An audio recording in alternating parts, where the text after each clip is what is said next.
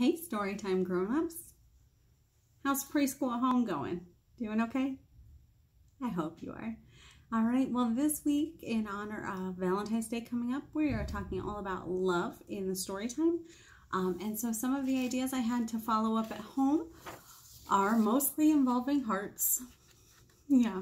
All right. The first one is that you can make Valentines um, for people in your life and especially if you can get your little Valentine making machine cranking them out, um, you could send them to people who may not be receiving many cards and letters right now and might not be getting much attention. So especially if you if you know somebody who is in an extended care facility, um, that might be a really nice chance for you to get to send some love their way.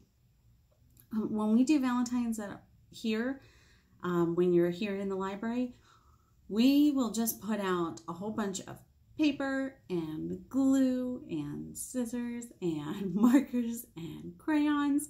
Um, and if I have some fun shapes of foam, we'll put those out. Uh, sometimes I go even a little sillier and we'll get um, some decorations from the Dollar Tree that are for Valentine's Day and we'll add those to them too. So at home, don't be afraid to just get out a bunch of stuff and let them just make some cards.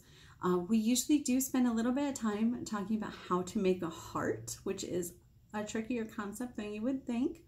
Um, we talk about folding over the paper, drawing what starts like the beginning of a two is usually how I describe it. So we'll draw this part right on the paper seam and then work on cutting it out. If your little one is not at that age, you can just cut a bunch of hearts out for them.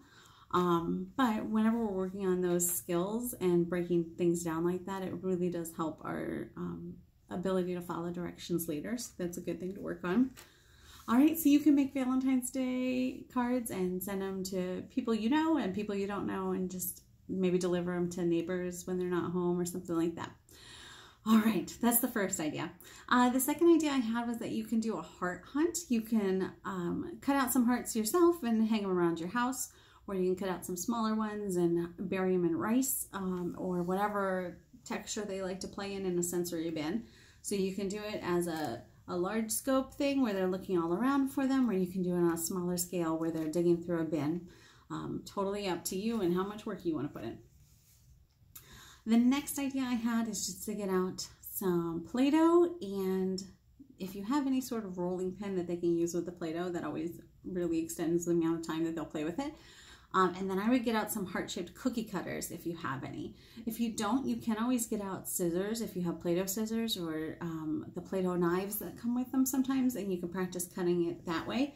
Um, but I do really love my heart-shaped cookie cutters especially. I get a lot of use out of, not usually for cookies, usually for a bunch of other things. Um, so using those with the Play-Doh hearts are super fun. And the next idea I have is that um, making a, a post office. So a lot of times kids don't necessarily know how mail gets to their mailbox or their P.O. box. Um, so talking about how the mail works before you send the Valentines that maybe you send, um, you could talk about how the post office works and what that is. And then I love making that into a sorting game. So sometimes here we have a giant box that we have holes cut into and the kids try to sort letters by the shape that's on the front and then they'll put it through the slots or they get to be inside and be the postal carrier or the post office worker. Um, and they will sort the items and I even have I have little houses that we just made out of paper bags with the different shapes on them so they can deliver the letters that way. So get creative, but you can definitely do some sort of post office game where they're playing post office um, and just use what you have around you to make it as easy as possible. Maybe if you have stuffed animals you can set up they can deliver animals to the stuffed animals, or deliver animals. They can deliver letters to the stuffed animals. Like you can give them an item and say, can you give this to the stuffed animal that has brown eyes or something like that and do it as a clue game. Um, that'll involve a little bit more hands-on, but it is a lot of fun to play post office, believe it or not. Uh, the next idea I had is that you can do a heart candy game. So if you buy the heart candies that have the little sayings on them and stuff, first of all, you can try to recognize the letters that are on there.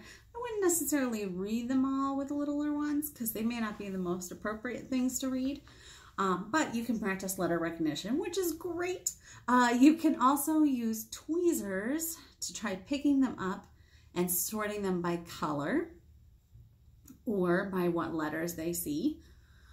Um, or you can make, if you have any 10 frames or counting sheets where you're practicing your counting, you can do them like that. So you can do, you know, a 10 frame, how many, how much time does it take to fill it in? You can do, if I have three yellow hearts and five pink hearts, how many hearts do I have altogether?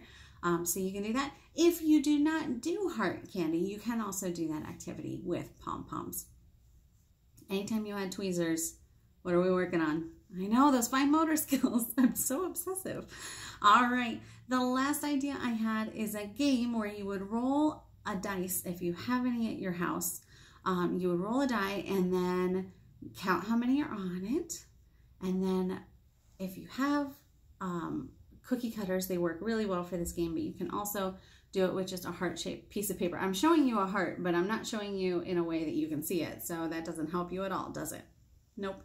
All right, so you can put down the cookie cutter or the sheet that has a heart shape on it and then roll a die and see how many pom-poms it takes to fill in that heart. So you can use, if you have multiple sizes, it works even better. You can see how long it takes to fill it in. You can have your kids guess how many pom-poms it'll take to fill it in. You could put in a couple different sizes of pom-poms and make it extra tricky that way. Um, but it it's a game where you could go back and forth and you each try to fill up your pom-poms or your hearts with pom-poms. You could do it that way too.